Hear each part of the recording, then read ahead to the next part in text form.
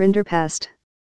A viral disease of cloven-hoofed animals caused by Morbillivirus, It may be acute, subacute, or chronic with the major lesions characterized by inflammation and ulceration of the entire digestive tract.